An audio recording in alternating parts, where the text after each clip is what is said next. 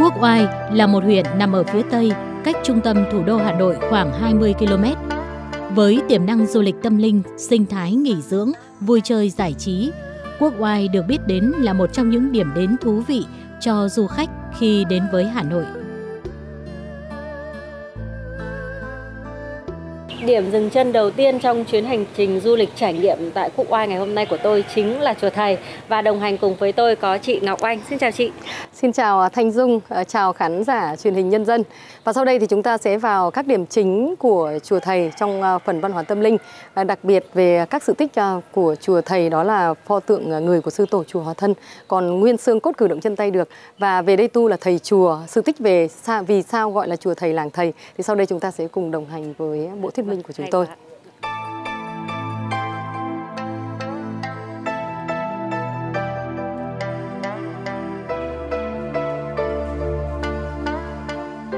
Chùa Thầy được xây dựng từ thời nhà Lý, gắn liền với giai thoại cuộc đời thiền sư từ Đạo Hạnh. Lúc đầu, chùa chỉ là một am nhỏ gọi là Hương Hải Am. Sau đó, vua Lý Nhân Tông cho xây dựng lại thành hai cụm chùa, chùa cao trên núi và chùa dưới. Chùa Thầy còn gọi là chùa Cả, tên chữ là Thiên Phúc Tự. Chùa nằm tựa vào núi, được xây dựng trên thế đất hình con rồng. Phía trước là một sân rộng nhìn ra hồ Long Trì tức là ao rồng, tạo thành hàm trên. Bờ hồ bên trái là hàm dưới. Giữa hồ Long Trì có thủy đình tựa như viên ngọc sáng nằm giữa miệng rồng. Quang cảnh chùa với tất cả các cái kiến trúc nghệ thuật Thanh Dung thấy thế nào? Một không gian rất là linh thiêng và cũng rất là bình yên chị ạ. Và em đặc biệt ấn tượng với kiến trúc những dãy nhà được xây có một cái gì đó nó rất là đặc biệt so với nhiều những cái ngôi chùa mà em đã đi qua.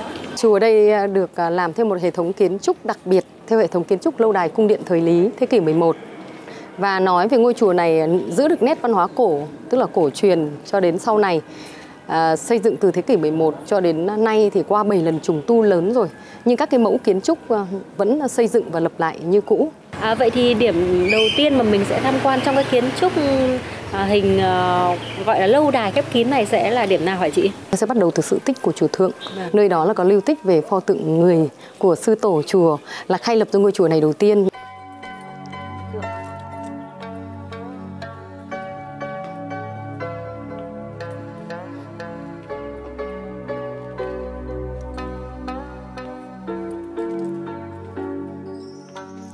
Nói về kiến trúc ngôi chùa xây theo hình chữ tam nên có 3 cấp. Thì đây là cấp thượng, cấp trung, cấp hạ chúng ta sẽ phải đi liền kề bên dưới. Vì sao gọi là chùa thầy, làng thầy và núi thầy? Thì nơi đây chính là thờ Thánh Tăng Ngài, tức là từ đạo hạnh, Ngài từ đạo hạnh. À, ngài là thầy chùa, thầy lang hay là bốc thuốc chữa bệnh, cứu người, dạy các trò chơi dân gian văn hóa như đá, cầu, đấu vật và múa dưới nước. Dân thôn mến mộ gọi ngài bằng một từ thân mật là thầy, rồi truyền bá về làng thầy, chùa thầy và núi thầy. Ngôi Đại Hùng Bảo Điện này xây dựng theo hệ thống kiến trúc đặc biệt làm từ 36 khớp mộng chính không có đinh sắt trồng đấu các xà hoành lên nhau và chịu sức nặng nhiều tấn gỗ và ngói đè lên ở bên trên. Ngoài 36 khớp mộng tạo lên một à, ngôi chùa đồ sộ như vậy, du khách còn à, tham quan được hai cây cột gỗ ngọc am và trò vầy hiện nay là phía bên trong là còn lưu lại từ thế kỷ 11. Em được biết rằng là trong chùa Thượng thì còn có một câu chuyện liên quan đến pho tượng của à, thiền sư Từ Đạo Hạnh ấy. À, vậy cụ thể câu chuyện đấy về pho tượng đấy thì như thế nào hả chị? Cuối thế kỷ 11 sang đầu thế kỷ 12 thì có dòng họ Lý về đây cầu tự. Sư tổ đã nhận lời cầu con cho dòng họ Lý. Ngài đi vào một cái động nhỏ trên núi à, ngồi thiền và sau bách nhật 100 ngày à, tu luyện và đắc đạo, không ăn không uống. Ờ, xác à, khô từ trong khô ra có mùi hương thơm. Dân thôn đã luyện thành pho tượng thờ trong cung cấm. Còn linh hồn của sư tổ thì thoát khỏi xác rồi, đi đầu thai vào bà Sùng Hiền Hầu rồi sinh ra thái tử gọi là Thái tử Dương Hoán, chính là vị vua thứ năm trong 8 vị vua thời Lý của Việt Nam tượng của ngài là còn nguyên về xương cốt cử động chân tay được. Cử động chân tay được thì có một khái niệm liên đới đó là ngài là sư tổ chùa này cũng là người sáng lập ra nghề truyền thống rối nước của đất nước ta. À, sau khi ngài à, viên tịch tượng xác đã được à, làm theo hệ thống cử động chân tay được theo cái án lò xo máy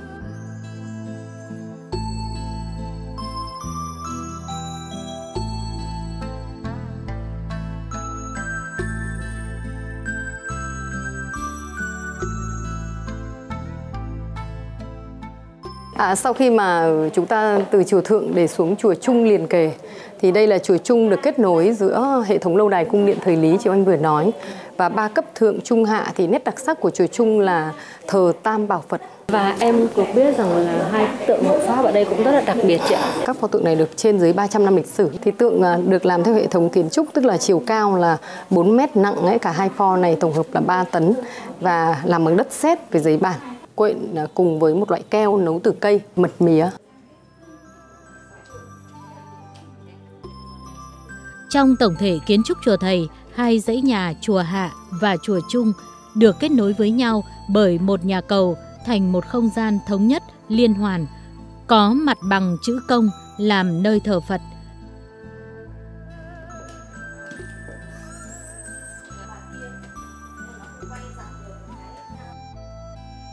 Mọi kết cấu vì kèo, hàng cột cùng nghệ thuật chạm khắc của ba dãy nhà này đều ăn nhập với nhau nhằm thể hiện rõ ràng không gian để truyền tải ý tưởng vừa thiêng liêng lại gần gũi, từ bi của Phật giáo. Các mái tòa tiền đường lợp ngói mũi hài kiểu tàu đao lá mái tỏa ra bốn phía với bốn đầu đao cong vươn lên trời tạo nên sự bề thế. Bờ nóc, bờ dài được gắn gạch hộp hoa tranh rỗng.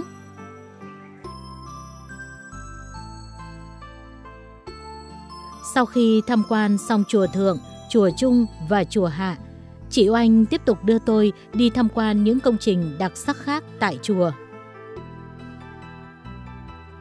Từ sân chùa nhìn sang hai bên phải trái là hai cây cầu Nhật Tiên Kiều và Nguyệt Tiên Kiều. Hai cây cầu này do ông Trạng Bùng Phùng Khắc Khoan cho xây dựng và cung tiến vào chùa theo kiến trúc Thượng Gia Hạ Kiều, tức là trên là nhà và dưới là cầu, nước chảy lưu thông. Có câu thơ của Ờ, dân gian địa phương là du khách ước mơ đến chùa thầy, trần gian âm phủ cũng là đây, trăng soi đáy nước cầu ân ái, hữu tình thêm đẹp cảnh rồng mây. à, câu thơ này cũng miêu tả về đường của cây cầu bên kia, tức là một bên mí mắt của rồng, đó là đường lên núi gọi là cầu dương và đường bên đây là vào đền thờ Tam Phủ. Đền thờ Tam Phủ nằm trên một hòn đảo nhỏ và nằm trong hệ thống các công trình do Trạng Bùng Phùng Khắc Khoan cung tiến vào thế kỷ 17 đền thờ thần trời, thần đất và thần nước. Theo cầu Nguyệt Tiên, ở bên phải chùa có đường lên núi dẫn lên chùa Cao, chùa Long Đậu, hang Cắc Cớ, bàn cờ tiên, chợ trời. Cùng với di tích quốc gia đặc biệt chùa Thầy thì Cúc Oai còn được biết đến với một ngôi đình hết sức nổi tiếng và ngôi đình này còn được mệnh danh là Sứ Đoài Đệ Nhất Đình. Và ngay bây giờ thì chúng ta hãy cùng tham quan ngôi đình này nhé.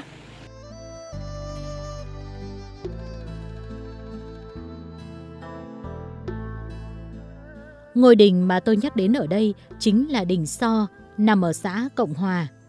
Đình So lôi cuốn du khách ngay từ tam quan của đình.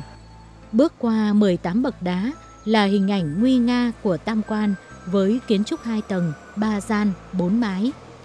Những cột gỗ xù xì nhuốm màu thời gian cùng những mảng chạm khắc tinh xảo với hình ảnh rồng phượng uy nghiêm đủ để du khách không khỏi trầm trồ và háo hức được tìm hiểu, khám phá ngôi đình nằm phía sau cánh cổng này.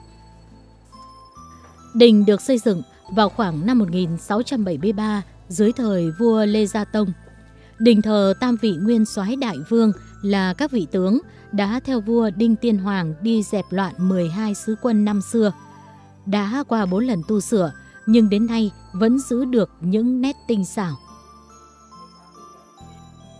Đình gồm 7 gian, hai trái.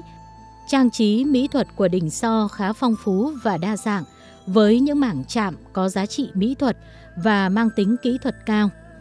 Các mảng chạm khắc ở đình So tập trung chủ yếu ở nghi môn, gian giữa tòa đại đình và ống muống.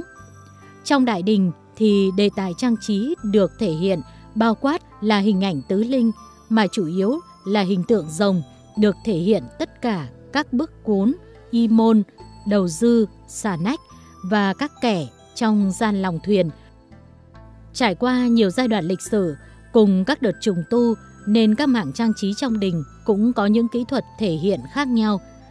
Nhưng tự chung lại vẫn tạo được sự tổng thể và thống nhất, tạo nên một công trình bề thế về không gian và giá trị về thẩm mỹ của đình So nói riêng và cho các ngôi đình Việt Nam nói chung.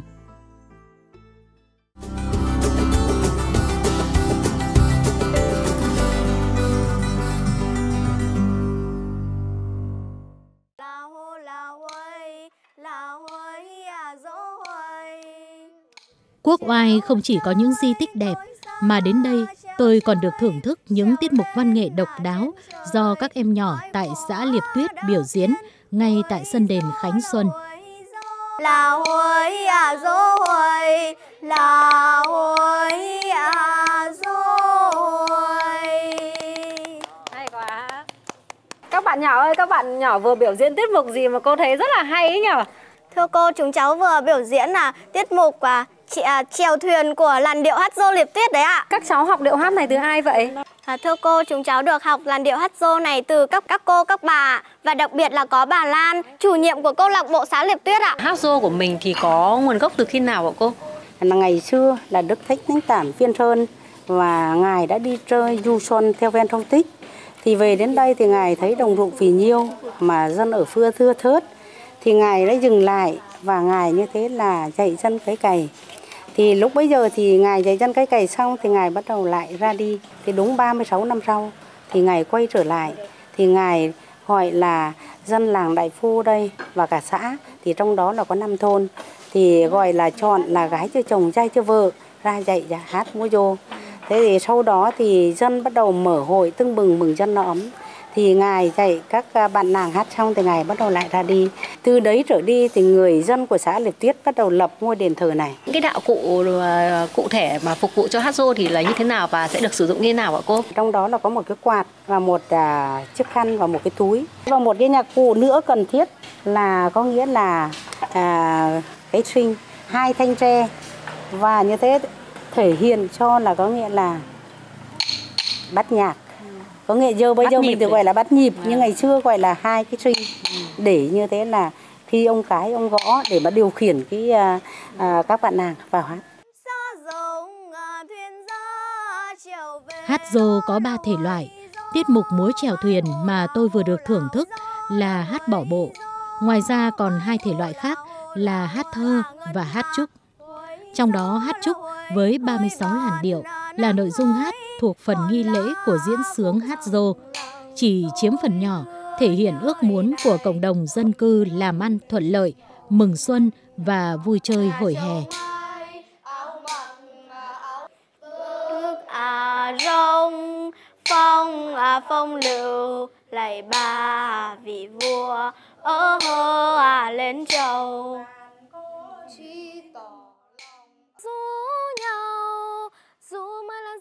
những lời ca đầy chất trữ tình với giai điệu mượt mà, sâu lắng, cùng những động tác múa uyển chuyển, chắc hẳn làm mỗi người không khỏi sao lòng khi đã một lần thưởng thức, để rồi chuyến hành trình về với quốc oai sẽ trọn vẹn hơn. Lấy là em xin vâng, chăm lấy là em xin vâng.